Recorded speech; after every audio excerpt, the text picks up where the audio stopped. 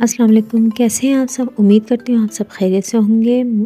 एक सिस्टर ने मुझसे रिक्वेस्ट की थी कि कमीज़ की कटिंग सिखा दें तो उन सिस्टर की रिक्वेस्ट पर मैं आपको आज सिंपल कमीज़ की कटिंग सिखाऊँगी बेसिक तरीके से।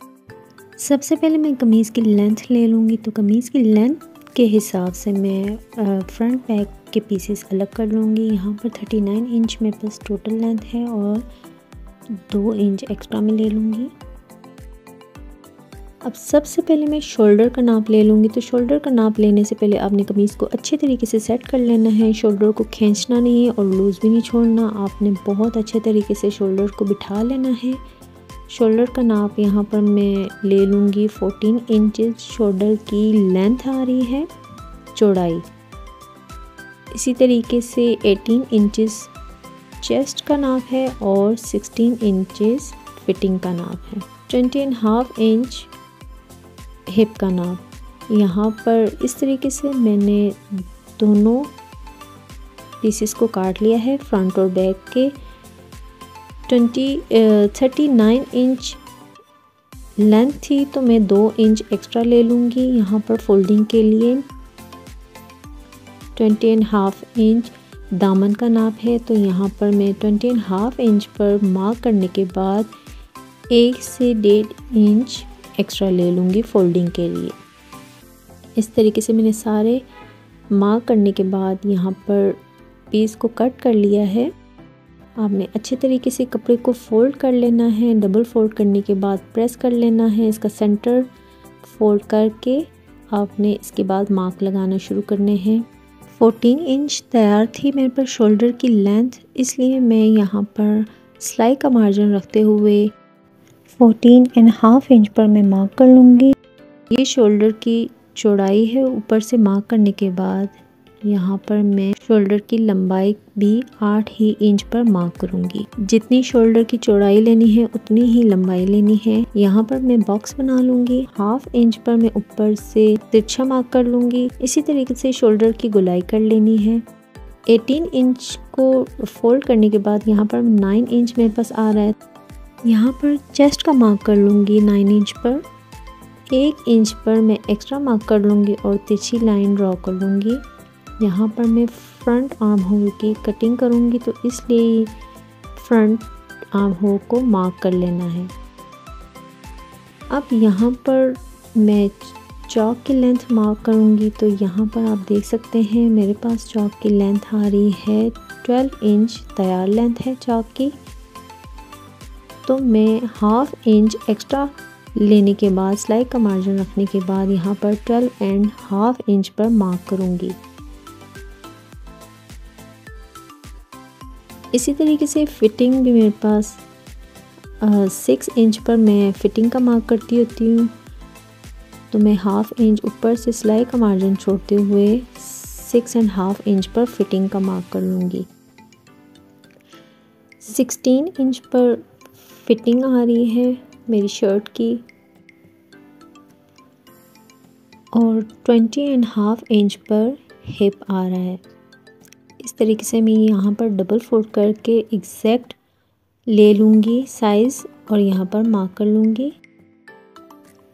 इस तरीके से मैं इन तीनों निशान को आपस में मिला लूँगी और लाइन ड्रॉ कर लूँगी।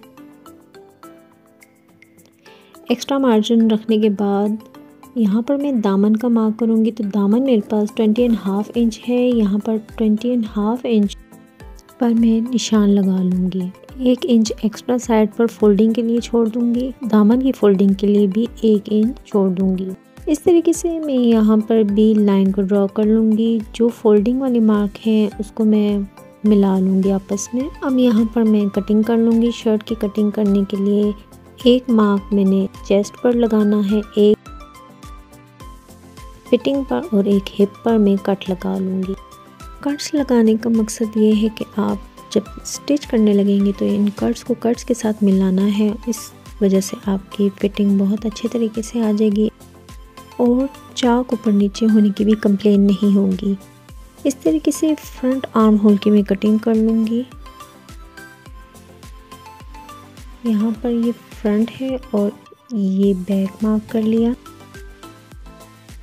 आर्म होल की गुलाई मार्क की है तो एट इंच मेरे पास आ रही है। तो इसके लिए मैंने ये ट्राउज़र का फैब्रिक ले लिया है। स्लीव्स में ट्राउज़र के कपड़े में से बनाऊँगी। स्लीव्स की लेंथ मेरे पास आ रही है 19 इंच बिल्कुल रेडी है।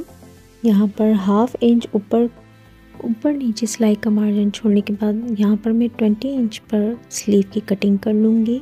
पीस को अलग कर लूँगी।